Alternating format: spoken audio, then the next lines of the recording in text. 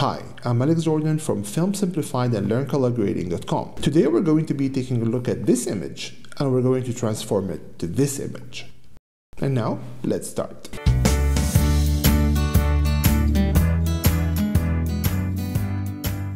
Okay, today's episode is frankly about color correction, not color grading, but it's still it's a technique that I like. We're going to try to stylize the image a bit. Now, so let's take a look at this image here. You can tell the first problem here is that the white balance is really off on this image. So now we need to adjust the white balance. Now, one of the most effective ways to adjust white balance is to pick a white object. Like if we look at this image here, this should be white. The color of this should be white. So what I'm going to do now to color correct the images I'm going to make sure I'm on curves. So these are my curves here. And then I'm just going to come to the uh, to this part and simply click. And now notice when I clicked, Resolve automatically created three points or four points for me, Y and RGB points. Now I'm just going to hit this here to ungang my uh, curves. So this is the red point, the green point, you can see it's really up high, the blue point. We're going to make sure that all these points are on the same horizontal line. We're not going to move any point to, to the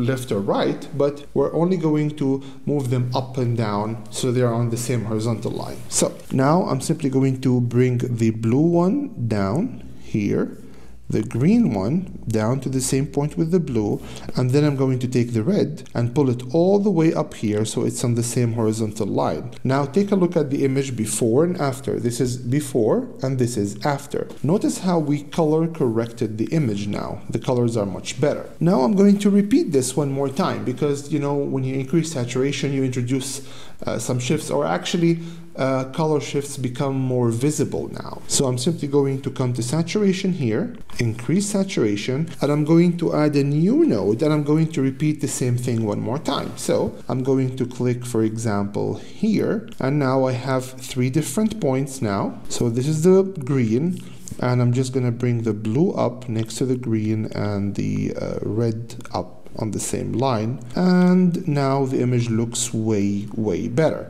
take a look at the original image and the new one this is one of the if not the single most effective technique to white balance your image. Uh, take a look at the original image and the new one. The difference is just unbelievable because we use this technique of making sure because if an object is pure white, the R, G, and B values should be uh, the same uh, there shouldn't be any shift in any of them. So now we're sure that our uh, image is white balanced. Now, the next thing I'm going to have to deal with now here is this object in the background. Notice that it's very saturated. The lamp in the background here is extremely saturated. So what I'm going to be doing now is I'm going to be adding a window. So this is my window here, and I'm simply going to bring the window on top of the lamp here. One second, let me just adjust the shape.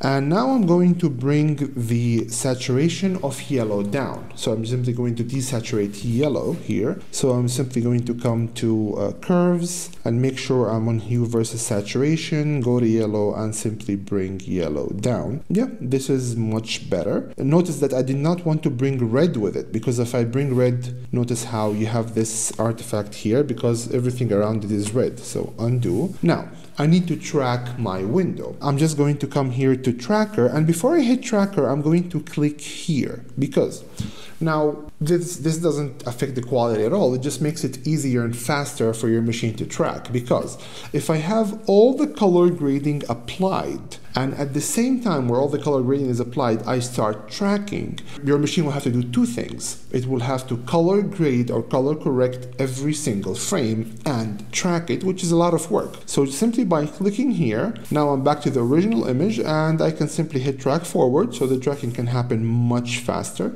and I'm going to click here, back. So this was uh, very fast tracking and I just corrected this lamp here. Great. I'm going to add a new node. Simply come to nodes, add a serial node, drag it, you know, to the end here. Maybe I should just bring these up this way. So this is my node and I'm going to go to color presets and I'm going to choose chroma dark. So now we're sure that everything uh, that is dark is desaturated entirely. This is what this does. Notice here that we have a key on everything that is dark and we have zero saturation here. Now I'm going to add a new node, of course, before this one. So I'm just going to click here to choose this node and I'm going to go to nodes and add a serial node. Beautiful. Now, with this serial node, I'm simply going to go to uh, primaries bars here, and I'm going to uh, control the blue bar. This is now notice that we just corrected the image. Now I'm just going to apply a hint of stylizing the image so it will look a bit better. So I'm simply going to come to gamma here to blue, bring it up just a notch, and yeah, much better. And I'm simply going to bring red down a bit, yeah, much, much better. So now take a look at this image. We just managed to transform this into this. Which shows you how easy it is to, to color correct any image in DaVinci Resolve. And if you like my tutorials, you can head to filmsimplified.com. We have two free courses. One is about uh, color grading and one for color correction. You can join and thank you.